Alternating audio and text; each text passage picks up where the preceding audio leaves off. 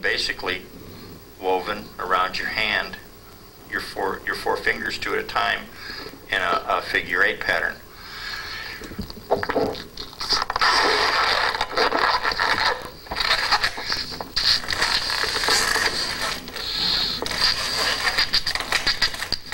As you inflate this balloon, allowing it to pop in and out of your fingers, you'll get uh, a serpentine look.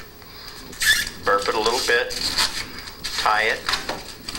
At this point, I twist off about a two finger bubble. That will be an ear twist in a moment. I make a fold twist for the head, twisting off the fold twist. You'll now see that you'll take the nozzle and pull it in, thereby completing the serpentine look. With my marker, I will put two slashes like so, two circles like so, small marks for the eyes, two nostrils.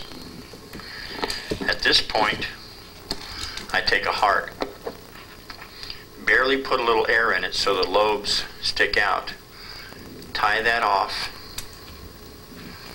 so that you now have, as you put it through the face of the snake, pull the knot up to one end and the uh, bubble down to the other, now have the uh, serpent's forked tongue.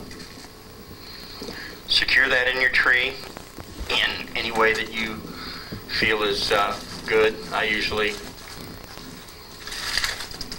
just stick him in there and then turn his head so that he's uh, looking toward the children adults if you're doing this for the adults.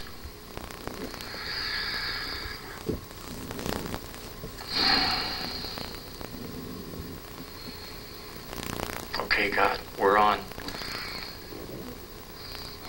The very first time I did this uh, upstairs in this church, in the children's church area, my son was with me. I started at 5 o'clock in the evening.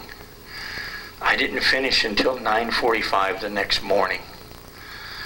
Around about 8 o'clock, my son went to get up off the floor. I had a pile of brown balloons from this chair about this large. I think they were a little bit old because I had had them around for a while and didn't use them a lot and went to get a fresh bag of brown for this uh, filming.